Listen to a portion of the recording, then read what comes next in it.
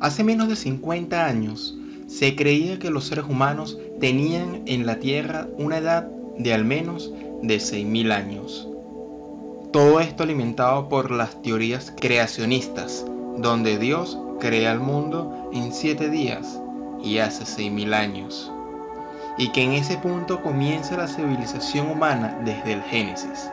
Hoy por hoy, esta teoría ya no está en uso por los distintos estudios antropológicos que dan pistas de una antigüedad muchísimo mayor que la creencia de hace 50 años y que se ha ido creyendo durante cientos y miles de años. Todo apunta a una civilización sorprendente, cuna de la historia, que luego, para sorpresa de muchos, fue copiado por los autores hebreos y que dieron luego origen al Génesis.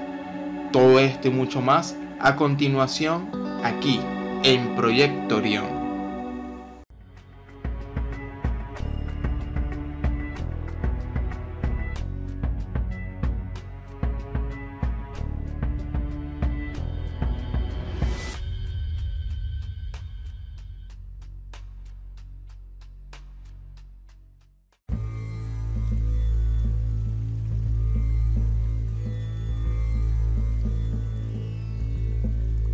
Civilización, economía, matemática, moral, medicina, literatura, agricultura, astrología y principios de astronomía y muchas otras actividades en los que se caracterizaban esta primera cultura civilizada, los sumerios. Antes de hablar de los sumerios es necesario colocarnos en contexto. Se tiene registrado descubrimientos científicos de los primeros seres humanos hace unos 320.000 años, y con el estudio de las zonas donde se habían descubierto dichos huesos, se visualiza que estas primeras tribus habían comenzado a comerciar con grupos distantes, usando pigmentos de color y fabricando herramientas más sofisticadas que las de la edad de piedra temprana decenas de miles de años antes de la que la evidencia anterior ha mostrado en el este de África, ayudando así a los primeros seres humanos a sobrevivir en condiciones impredecibles.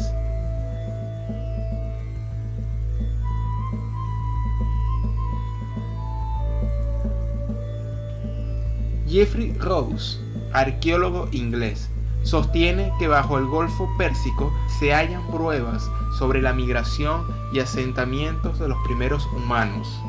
En el oasis del Golfo Pérsico pudo haber sido anfitrión los seres humanos hace más de 100.000 años. Con más de 60 nuevos yacimientos arqueológicos han aparecido de la noche a la mañana, dice Rose, y continúa diciendo que estos asentamientos cuentan con buenas construcciones, con más de 60 nuevos yacimientos arqueológicos de la noche a la mañana. Estos asentamientos cuentan con buenas construcciones, casas de piedras permanentes, redes de comercio a la larga distancia, una elaborada cerámica decorada, animales domésticos e incluso evidencias de una de las barcas más antiguas del mundo. Pero ¿cómo podrían semejantes asentamientos haberse desarrollado de modo tan alto y rápido sin que se encuentre en el registro arqueológico de poblaciones precursoras? Este arqueólogo considera que las pruebas de estas poblaciones anteriores han desaparecido producto a que se hayan sumergidas en el Golfo. Esto plantea la posibilidad de que los seres humanos se establecieron en la parte del sur de la península arábica desde hace ya 100.000 años.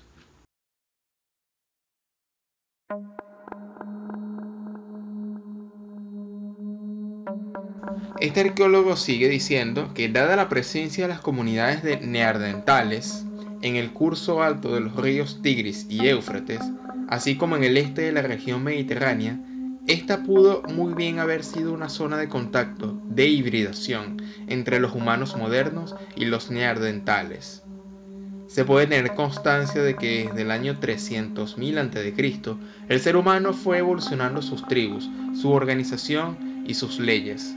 Todo esto se vuelve interesante cuando se descubre la cultura sumeria, que de ella no se sabía absolutamente nada, Misteriosamente la Biblia no hace mención de dicha tribu y su lengua desapareció mucho antes de que los primeros textos hebreos tuvieran existencia.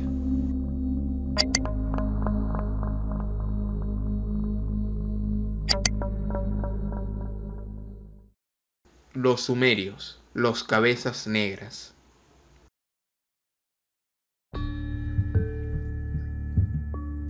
Este descubrimiento de los cabezas negras complicó lo que se tenía entendido sobre la historia antigua y puso en jaque a las creencias religiosas del momento, donde se tenía la creencia de que la humanidad no llevaba más de 6.000 años de existencia, ya que la teoría del creacionismo estaba muy en boca de todos, en la creencia general. De acuerdo con las tablillas de arcilla que han soportado las edades de al menos 5.000 años y que fueron descubiertos en etapas comenzando alrededor de 1850, los sumerios culminaron su cultura entre 2000 a.C. y el 3000 a.C. Ellos reclamaban un linaje de una dinastía muy anterior que vino a la tierra de otro mundo. De acuerdo con las tabletas de arcilla que han perdurado, dice que donde los dioses primero bendijeron a la humanidad con el ejemplo de la vida civilizada y culta. Pero las primeras tribus datan a los 3500 a.C. aproximadamente.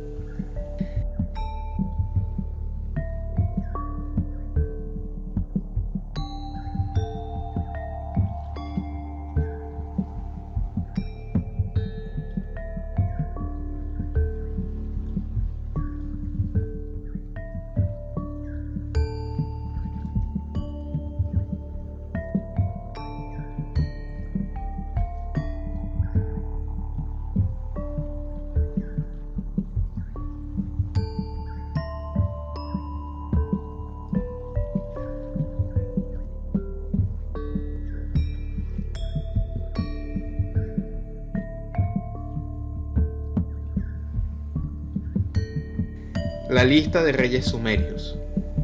Estos registros de tabletas de arcillas han sido en su mayor parte archivados hasta la traducción de los últimos años. Contienen una gran cantidad de escritos cuneiformes de la gente de Sumer, sus creencias e historias, incluyendo una lista de reyes que datan cientos de miles de años, este listado de reyes se descarta por la ciencia puesto que se tiene como leyenda o mito al ver las edades que pudo tener apenas un reinado y se hace increíble que esto pudo ser así, un reinado que tenga miles de años.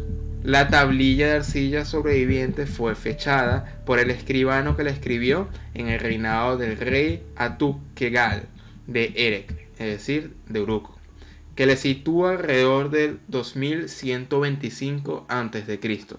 Aquí la lista de los reyes. En otras palabras, la historia de la humanidad tiene al menos 300.000 años de antigüedad según esto. Pero esto, por lógica, se descarta, puesto que ningún ser humano ha llegado a semejante edad, a menos que se crea en la historia de que en la fusión de los linajes de estos seres no humanos y entre los seres humanos puedan alargarse la vida a cientos o miles de años, tal y como indica esta lista de reyes. Cuando se llega a leer dichas tablillas se descubre que en realidad toda la historia del Génesis, la creación, Adán y Eva, el diluvio de Noé, los gigantes e incluso hasta la Torre de Babel fueron una copia casi exacta de las enseñanzas que ya estaban en esta cultura milenaria. Hay muchos sitios dedicados a las leyendas de estos personajes aparentemente mitológicos, conocidos en acadio como Anunnakis o en sumerio como Annunna. Casi todo lo presentado es un mito aparentemente. Primero están los sitios de Zacarías Sitchin y cómo los Anunnakis vinieron de un supuesto planeta llamado Nibiru, planeta que no existe en las tablas sumerias y que más bien provienen de los babilonios, un término referente a Júpiter como a la estrella polar. Luego están los creyentes de que los Anunnakis son de una raza reptiliana, promocionado principalmente todas estas ideas más modernas de la aparición a la palestra de David Aker, pero todo esto lo hablaremos más adelante.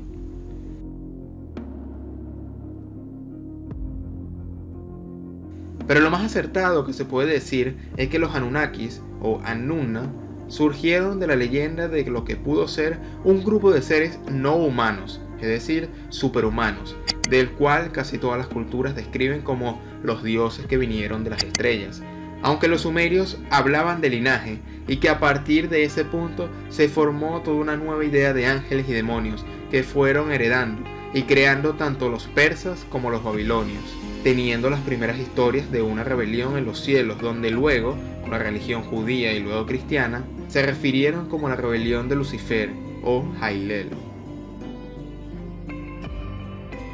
Estos Anunnakis originales, describen las tablas, enseñaron al hombre primitivo los caminos de la civilización. Curiosamente, esta enseñanza no es algo aislado. Se puede contrastar con dos textos. El libro de Enoch, donde describe 200 seres como los vigilantes o los hijos del cielo. Curiosamente, este segundo significado tiene como referencia el mismo nombre de Anunnaki, que bajaron a las alturas, al monte Hermón, con rasgos similares en los que se describen en las tablas sumerias. Y también usted puede encontrar una referencia en esta declaración en el libro de los jubileos. Jubileos utiliza también el término observadores, es decir, vigilantes, que también es el término bíblico que equivale para los Anunnaki. Esto es lo que la declaración sumeria se refiere a que la civilización era un regalo de los dioses. Por tanto, se puede decir que por contraste de la información, hay denominadores en común que pueden indicar algo de verdad en todo esto.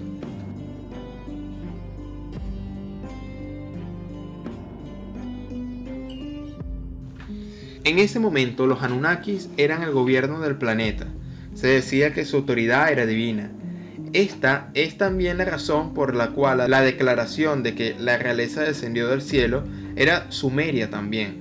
Entonces llegó la rebelión de Lucifer, esa guerra en el cielo, y es debido a este evento que hubo una división entre las filas de los Anunnakis, con algunos considerados como buenos y otros considerados como malos. Aquellos que son los Anunnakis malos son los progenitores de los Nephilim, los llamados ángeles caídos. ¿Les suena esto? Claro que sí. En el Génesis 6, cuando los Ben Elohim, hijos de Dios o hijos de los dioses, se juntan con las hembras y tuvieron hijos gigantes, los Néfilims. Se necesita un contexto para comprender el significado histórico de este tema, lo que los historiadores, arqueólogos y paleontólogos modernos consideran como mito. Pero toda la historiografía está indicando que en ese pasado remoto no sucedió del todo un mito. En la historia de la humanidad descrita por todas las culturas, describen que hubo una intervención en el continuo natural de los hechos, dando un salto repentino a una mejora de la civilización humana. Es curioso que las pirámides sean un denominador común entre culturas que no coinciden en espacio ni en tiempo, que son atemporales, y que todas coinciden que fueron mandatos directos o indirectos de los dioses, o a una referencia metafísica de la vida después de la muerte. Pirámides en África, tanto en América como en otras partes del mundo, sin contacto entre estas culturas.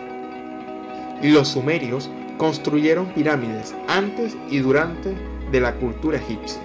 Solo las pirámides eran para enterrar a sus grandes personajes que veneraban o tenían otras funciones. Todos teorizan al respecto, pero nadie lo sabe realmente. Los Anunnakis, más bien, son el resultado de un evento prehistórico no reconocido aún. Tanto los Anunnakis como los Nephilim o gigantes son el resultado de ciertos acontecimientos en la prehistoria, profundamente en el Paleolítico. Las leyendas de la existencia de los Anunnakis y los Nephilim son verdaderas, pero muy diferentes a lo que podrían suponer. La ciencia no abre la posibilidad a todo esto, y solo se mantiene como un mito y creación de aquella población por sus incógnitas tanto por el universo como en el más allá. Dependiendo de donde obtengas tu información y qué epopeya esté siendo referenciado, el número total de esos dioses que bajaron pueden variar. Varias de las posturas de científicos indican que la historia de estos gigantes la comparten otras culturas, que no solamente de los sumerios. También lo pueden compartir los cananeos, llamando a estos gigantes como los Refaim. Y por tanto, se tuvieron que imaginar a los gigantes para darle explicación a los huesos de los dinosaurios y demás criaturas prehistóricas que se encontraban, puesto que para la ciencia actual no tiene sentido esas historias de dioses y gigantes, metafísica y la espiritualidad que decían poseer. Pero hasta no tener una historia más detallada de ese pasado, no se puede descartar por lo tanto lo que aquellas culturas describían y compartían. Sus dioses. Se saben que ellos tenían 3.000 dioses, y tres principales que eran Anu, Enlil y Enki, los tres dioses importantes. Su desaparición de esta cultura fue por el 2400 al 2000 a.C. ¿Cómo se pudo datar los años aproximados de su origen y desaparición? Hay una tabla llamada de Anisaduka, que era un rey descendiente de Amurabi. Los sumerios tenían una fascinación particular por las estrellas y por el planeta Venus.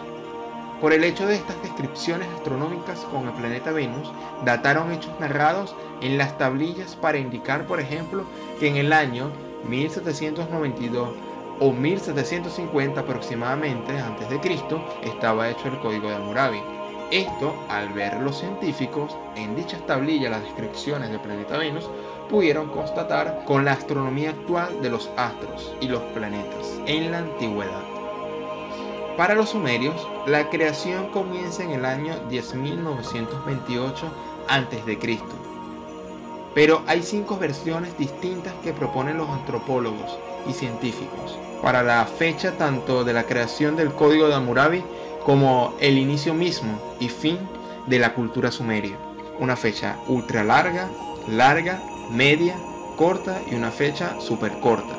Y no hay consenso al respecto.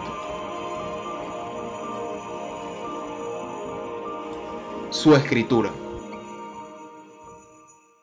Los primeros sistemas de escritura a finales del cuarto milenio antes de Cristo no fueron una invención repentina, más bien era un desarrollo basado en tradiciones anteriores de sistemas de símbolos que no pueden clasificarse como escritura apropiada, pero tienen muchas características sorprendentes, similares a la escritura.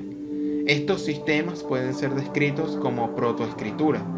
Utilizaron símbolos ideográficos y memotécnicos tempranos para transmitir información, pero probablemente carecían de contenido lingüístico directo.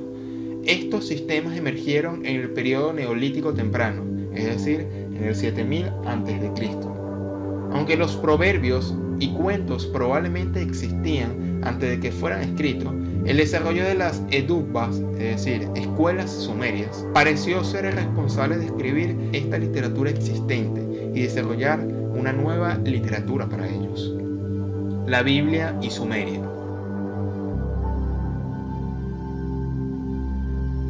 Seguramente usted puede preguntarle a una persona que asista a una congregación religiosa y posiblemente no sepa de esta cultura y las copias de la Génesis.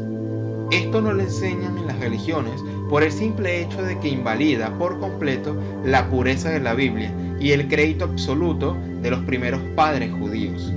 No obstante, cabe decir que cuando los primeros escribas judíos que hicieron la reconstrucción de la historia para ese entonces, comenzando por Esdras, no sabía de la existencia como tal de Sumer, sino que copia y recopilan las historias que se contaban alrededor, donde muchas de esas, principalmente el de la creación, data desde los tiempos de los sumerios.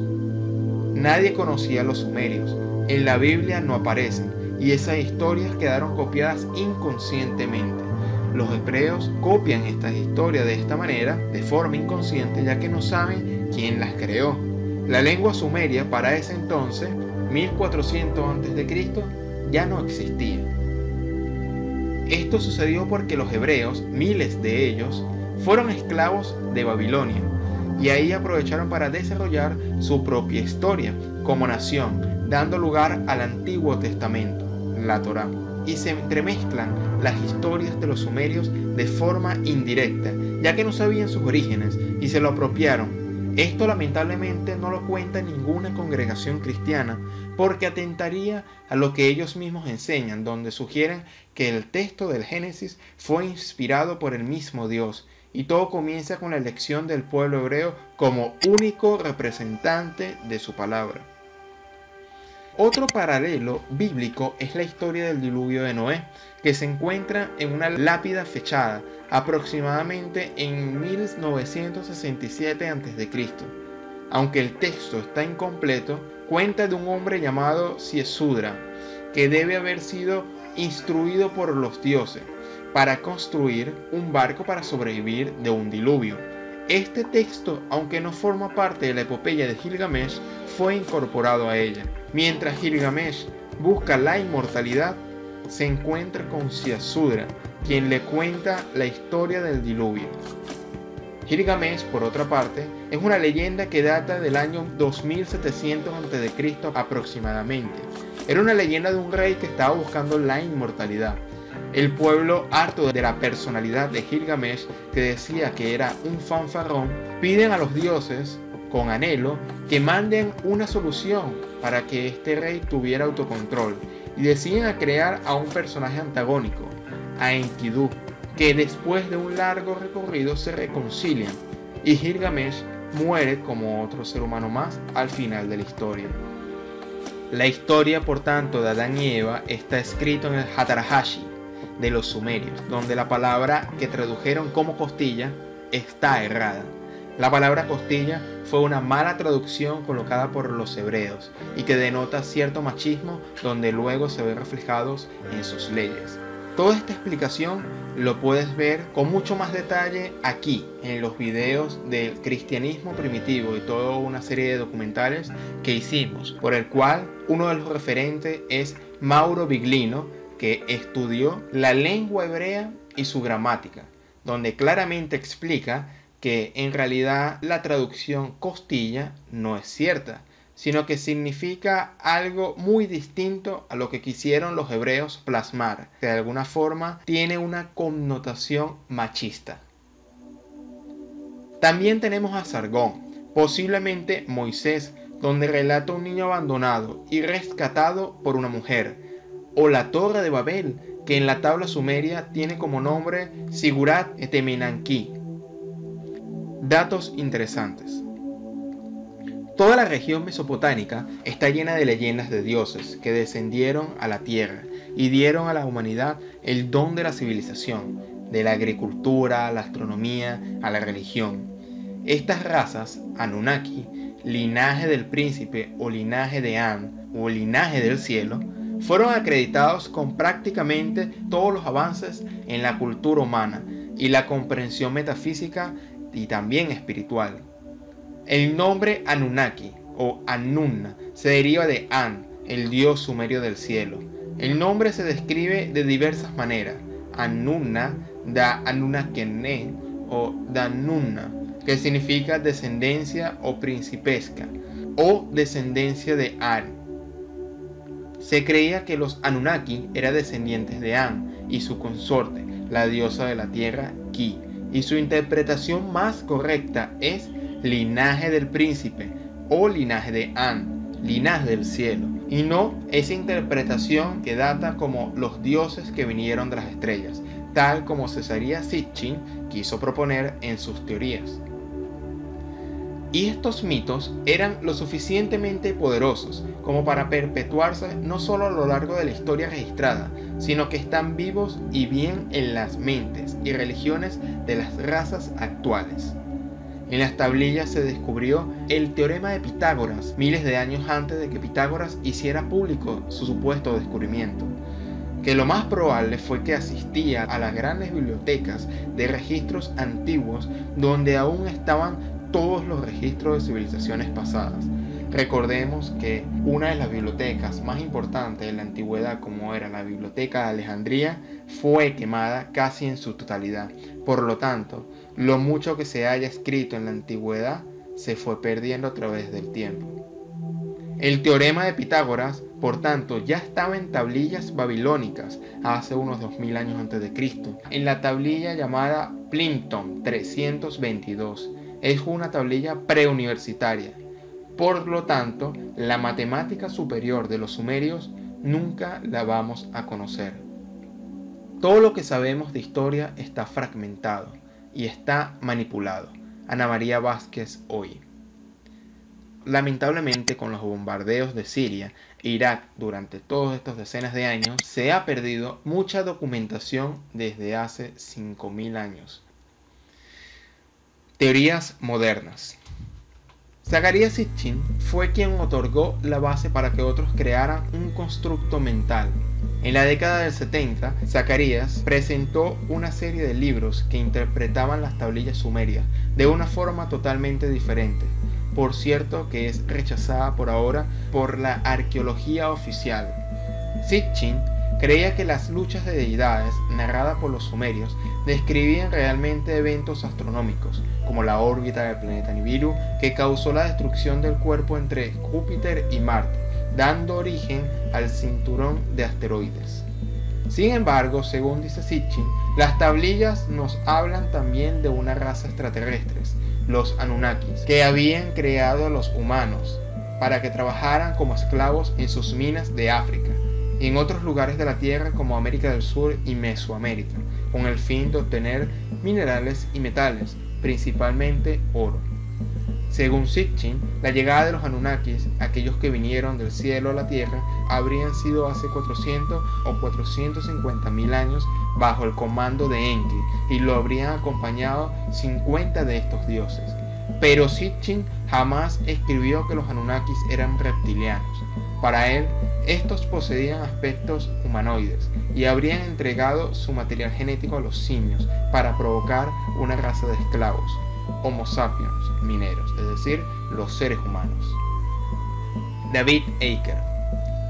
Esta persona, británico, partió como un iluminado afirmando tener visiones y canalizaciones especiales.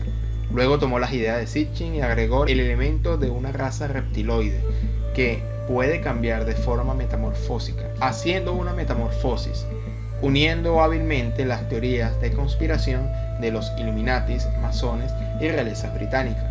Para Aker, los Anunnakis eran realmente los reptilianos que han tenido esclavizado a la humanidad desde entonces. Los reptilianos controlarían a los Illuminatis y además habrían puesto su línea genética de sangre azul, literalmente sangre azul, en la monarquía británica. Es interesante que Sitchin rechazaba lo lejos que podía llegar las ideas de Aker, pero este último insistió en crear un constructo mental, mezclando cosas reales e interesantes con el asunto de la conspiración reptiliana. Sin embargo, parece más bien que esto provoca el efecto de la intoxicación informativa, logrando que el público finalmente rechace las ideas verdaderas al estar mezcladas con las fantásticas, formando un todo inverosímil. De todas maneras, Aker tiene miles de seguidores y cientos de páginas han replicado y copiado textualmente dichas ideas sin un juicio más crítico. Por ejemplo, los creyentes de la misma, por lo general, afirman que el Génesis es una construcción mítica judía basada en las ideas anteriores sumerias. Sin embargo, ¿por qué debería considerar esas mismas narraciones sumerias como totalmente exactas es que porque son más antiguas le das más fiabilidad. ¿Por qué deberíamos suponer que este texto sumerio en su totalidad se ha mantenido sin alteración? Lo más evidente es que el hombre de las civilizaciones pasadas elaboró sus deidades mediante una historia real de los dioses que bajan al planeta, pero que fue distorsionada con las adiciones posteriores del parentesco que sentía el hombre a los animales que le rodeaban. Una veneración al animal que existía antes de la llegada de los dioses humanoides. Dioses con rasgos animales. Por lo tanto, el primer elemento para la creación de las deidades de forma animal se debe a los tiempos en que el hombre primitivo vivió con los animales y comenzó a imitar algunas de sus características, además de entender que muchos de sus impulsos también son de naturaleza animal. Incluso las leyendas de hombres lobo tienen origen en las historias de los dioses coyotes antepasados de algunos nativos. Las tribus desorganizadas mantenían la idea de los dioses humanoides, educadores, pero volvieron a sus antiguos apegos. Entonces se mezcló la idea primitiva anterior del parentesco con los animales, junto a la aparición de los dioses más nuevos. Las culturas antiguas prácticamente adoraban a todos los animales. Podemos hallar dioses chacales, toros, leones, gatos, águilas, monos y un amplio etcétera. Y también posteriormente aparecen las combinaciones antes mencionadas de humanos y animales. El fenómeno idolátrico obedece a estas combinaciones. Primero, el apego y devoción a toda la fauna de animales y a la naturaleza. De hecho, las primeras manifestaciones son puramente de animales. Veneración de los superhumanos que bajaron al planeta. Como dato curioso, para finalizar, se puede validar todas estas ideas al ver al dios Amón que aparece con un halcón en su hombro, pero cuando aparece Amón Ra dándole una connotación ya divina, es el mismo Amón pero con cara de halcón. Es interesante ir reconstruyendo la historia que da origen al desarrollo de las ideas espirituales, metafísica y del más allá que tuvieron los egipcios, hebreos, griegos y posteriormente Jesús de Nazaret y todas las religiones que actualmente existen. Ya puedes ver el documental sobre el maestro que hicimos en la esquina superior del video, con interesantes observaciones al respecto de su figura y mensaje. Aquí se los dejo. Por tanto, no te pierdas nuestro próximo video. Te puedes suscribir y si sientes que este video te ha aportado algún valor, puedes darle un me gusta. Así estarás apoyando a esta nueva iniciativa llamada el Proyecto Orión. Desde Caracas, Venezuela, les habla Simón Guardia.